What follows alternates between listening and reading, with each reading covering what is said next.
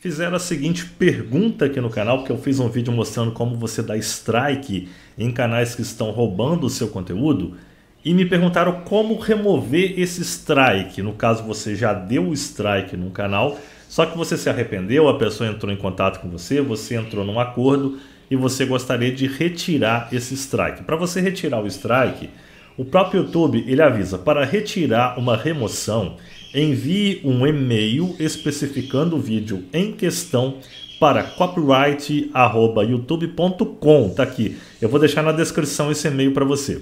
Usando o endereço de e-mail associado à sua conta do YouTube. Ou seja, você vai ter que utilizar o mesmo e-mail que você logou, que você deu o strike, tá bom? O mesmo e-mail da sua conta do YouTube que você deu o strike na pessoa. Aí aqui você pode clicar em Saiba Mais e você vai ter ó, retirar uma reivindicação de violação de direitos autorais.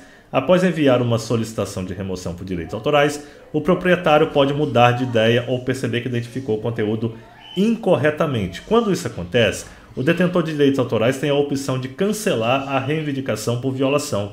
Isso fará com que o aviso de direitos autorais seja removido do conteúdo que foi retirado do YouTube, a menos que o usuário que fez o envio já tenha excluído o vídeo. Ou seja, se o usuário que levou o strike ele não removeu o vídeo, esse vídeo será restaurado na plataforma, ele voltará a ficar ativo. Né? Então, a não ser que a pessoa foi e ela já excluiu esse vídeo que foi retirado.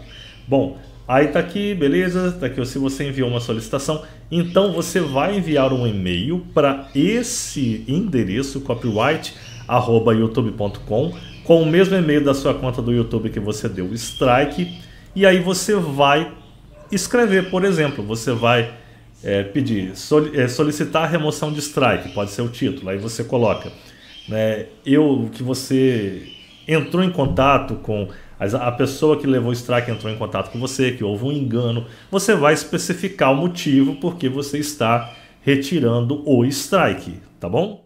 E aí é simples assim, o YouTube ele vai analisar e ele pode, ele vai remover depois o strike do canal que você deu aí.